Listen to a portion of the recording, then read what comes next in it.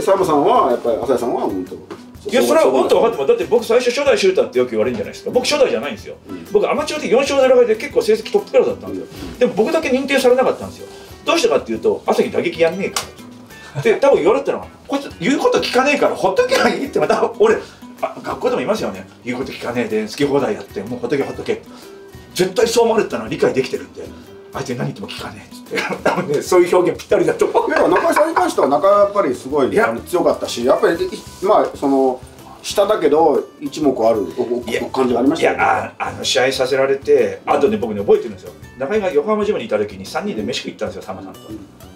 でなんか中井さん見食ってて「朝日君次はこういうやつやるか」って僕一言言ったら覚えてるんですよ「あ平気です。俺全員ぶっ倒しますから」って「任せてください」俺が全部やりますって言ったじゃあ中井に「朝日これがチャン中井に中井これがチャンピオンだぞ」ってこと今度言ったりだから3人そんな感感じだ。そうそうそう。だからななんかそのどちらかというと浅井さんがバーッと走るんだったら中井さんが一歩引いて見てくれるって感じで言うとなんかそこに佐山さんは全然僕はじゃなかったらなななんか中井は佐山さんはあれですよね。佐山さんって孫の孫のなんかみたいななんなんつうのかいやだなからそのトレーニングも厳しく受けてないから自分でねやらせてくれって言ったりとか地獄のトレーニング受けたりとかってだから距離があるのは分かってるけどでも佐山さんも中井さんに関してはだからあれですよ中井にあれですよあいつ、うんあの佐山さんが言ってきたのは。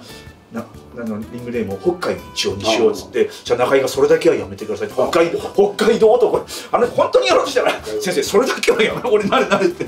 ほらまあまあの朝日登るされましたよですよ。で旧平は 旧平は御影石に似てるから御影旧平とかそういうのがだからだから御影なだからそうやってちゃんと一緒にやった人にはなんかアホやなと思う時あるかもしれないけど多分そんな感じじゃないかな。あと個人的にそのいっぱい飯食いに行くか食いに行かないか別として やっぱ中井にとっても先生やだろうしやっぱそして中井はね俺も若い時してきてイケイケだったし。みんなに嫌われてたからねあいつ。イケイケすぎて。本当に嫌われてたから。ですか？いやーなんかだから悪いことするわけじゃないですよ。もう悪いんですけどもうなんサッカーとかで見ませんこうやって。俺がやるっつって。もうすごかったんですよ。もうイケイケの凄さが。全員嫌ってましたもん。だからぶっちゃけバレてるジャパンで僕は仕事ついたんですよ。うん。誰も仕事つくやついないからいやでもねやっぱりね格闘技はそういう人じゃないと強くならないですよ。いやでもさでもほら田崎さんあれじゃないですか。うんええエースピッチャーの記事書いてますよね。ですねは似てると思うそういう感じだと思います。いいやいやエースはね エースはね金なんとかですよ。かエースはね違うんですよ。自分のために回ってると気持ちいいから結構ねそのなんていうかな人のことか見てるんですよ。格闘家は基本的にねあだから朝日さんは何のかんないって格闘家の人だと思うのよ。やっぱり俺朝日朝日に登るっていうのがその菊池道場でも一人で練習したりとかって人の目を気にせずやる。だからこの人は多分野球よりやっぱ格闘技に向いてたんだと思いますよ。で僕はそれ中井さんも同じでだからやっぱ組織でいうとめちょっと見えなくなっちゃうとこあるんですよ。ーやっぱり。なるほどな。佐山さんも実は同じ。じゃあ僕は今一人が好きなんでうん。一人で一人が好きなんですよ。朝日さんはでも野手ですけど野手って本当はや野球セセカンドですそうせ特にセカンドなんていうのはやっぱりその連携プレーが大切だしやっぱりそこで言うとすごい実は一番仲間が大切で朝日さんもそこにいるから多少その分かってるけど本質はあのやっぱり結局その、また追いかけしたりでもあるけど。うん。あやっぱ木口さんみたいにずっと木にタックルして木を持ち上げようとしてっていうそんなそういうそのメンタリティーは朝日さんも中井さんも僕は結構似てると思いますよ。うん佐山さんも僕は同じだと思います。よ。まあ、僕だと格闘技やってて思ったのがあのミットってあるじゃないですか。いまだに理解できないんですよ。僕生涯で30回か50回ぐらいしかやったことないんですよ。そうなん。なんで人の距離と人のタイミングで打たなきゃいけないんだ。うん俺ここに俺の空間空中にミット置いてくれと、うんうん。俺見えたところに打つから。俺は見えてると。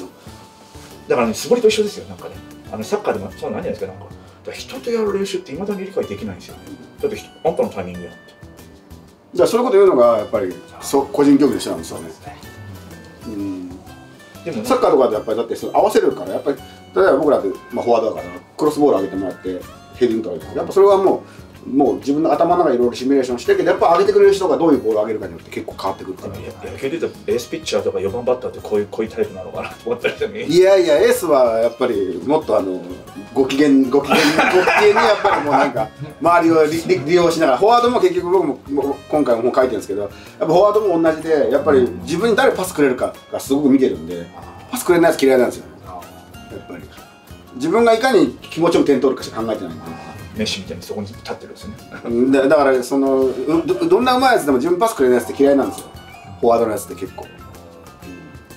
確かにそその中でもそういう資質あるのかもしれないけど、でもだから朝日さんはやっぱり個人ですよ。まあでも死ぬ子供って一人好きなのは本当あれだって。い寄ってきてほしくないんでほっといてって俺のことだからだから結局今の絵描きもそうですけどこの子を選んでるじゃないですか。だって作家じゃないですか。で僕だから僕編集者と一緒に仕事してます 僕は結構ささ作家もそうなんですよ。作家も個人な子なんですけど作家の中のタイプがいてだからその例えば僕のまあ仲のいいというか広金健志さんっていうのが漫画家ですけど広金先生。なんかはあの編集者の言うことも聞かないんですよ。聞かないというか編集者は誰でもいいって言うんですよで僕なんかは編集者結構大事でまあささっきの施設祭の悟る調子できる中込君なんては本当に話しながら一緒に取材もやるし来てくれるしで酒飲みながら次どうしようかどうやろうかって考えながらやっていくチームが結構まあ、まあ、チームというかチームなんですよね。そういうのも大事にする人もいるしもう全然自分で行く人もいるし。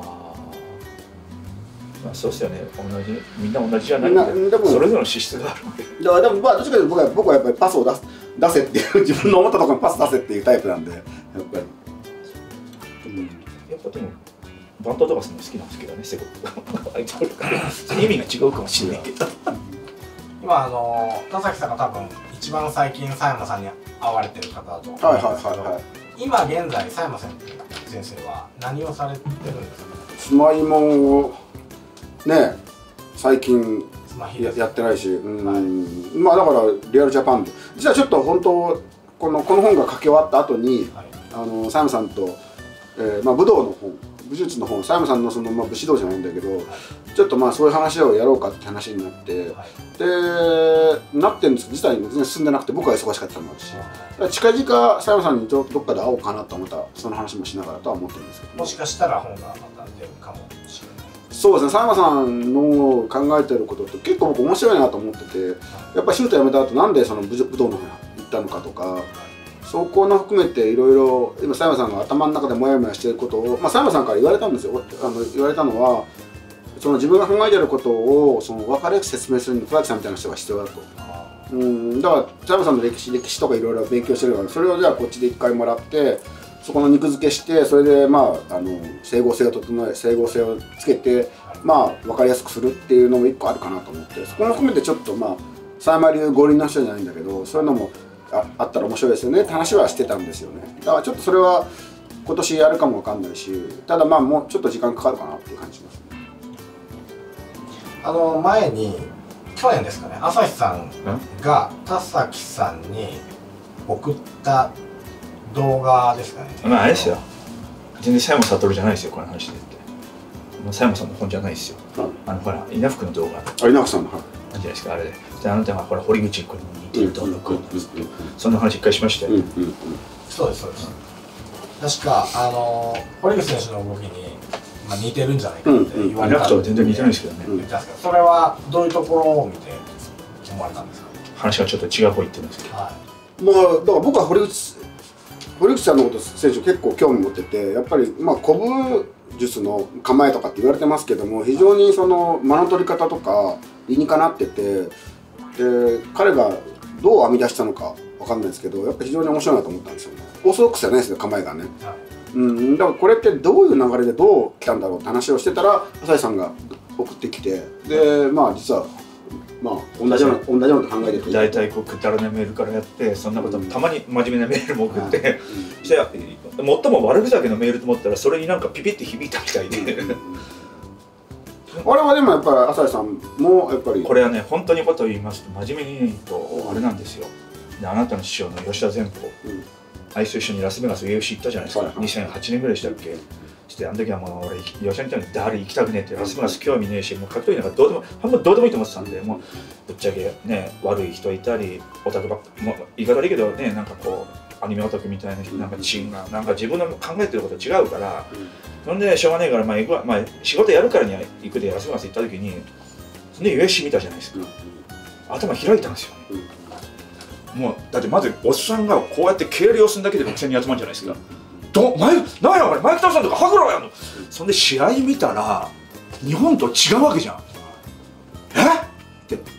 日本だったら例えばこうやってジャブ使えないし打ち合えばいいとかだけど向こうだったらジャブは使うわフォーメーション作るわ。なんかサッカーのプレミアリーグみたいなゲームやっていいんだと。そんでないこれ明らかに違うよこれって。どうやぶっちゃけ吉田にはあの吉田に弱い顔見せんとやばいから見せなかったですけど。なあれマジでどうすりゃいいんだ？あれあの前後の初戦ですか？そうです。あのコッペンハイパーだったらわけわかんないやつやってるけどそれ勝ってるのあいつはすごいけど、うん。でももうこのままのシステムじゃもう勝てないと。システムっていうのは、だからフォーメだから戦い方。うん。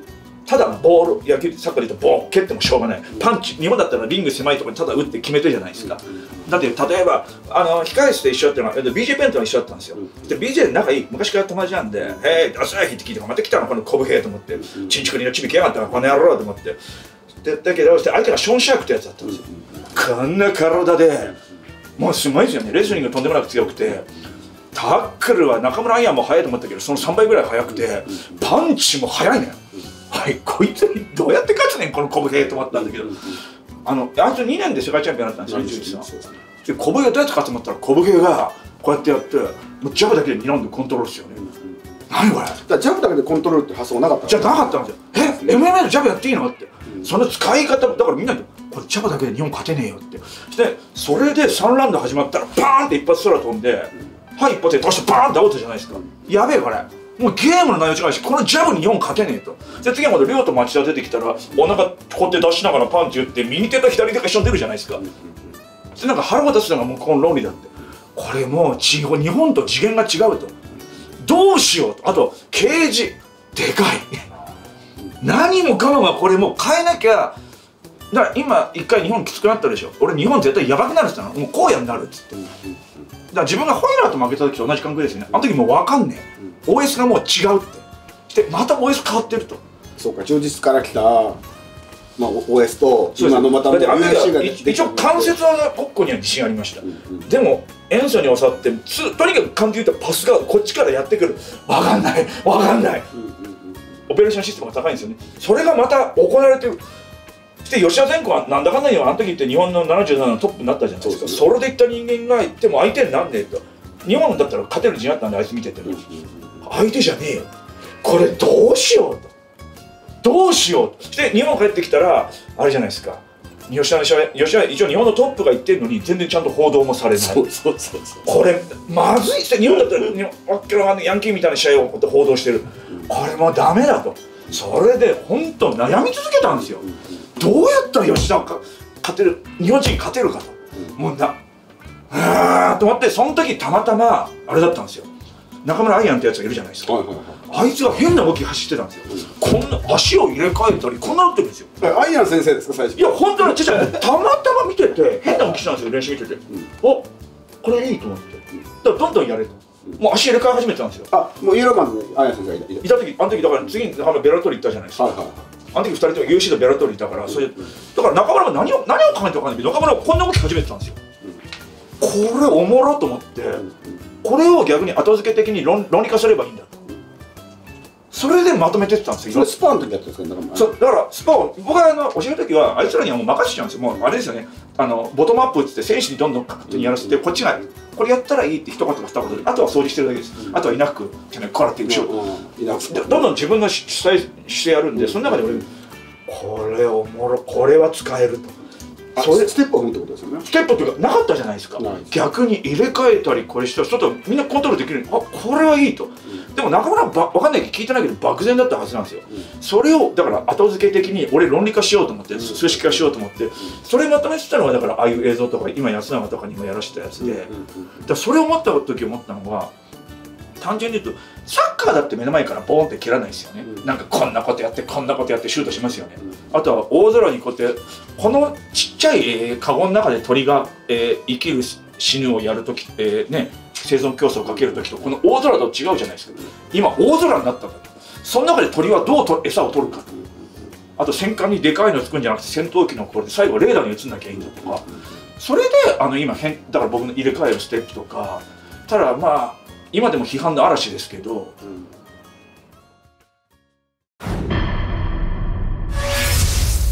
で今だからだから最初あと則文があのあれ UFC 行った時にちょっと控え室でたまたまあったんですよ「ノリどうやった?」って聞いたんですよ「今日俺に行ってきた」って「そうですよ相手いないしいないやろっつって。いないんですよ。広いから鬼ごっこなんですよ。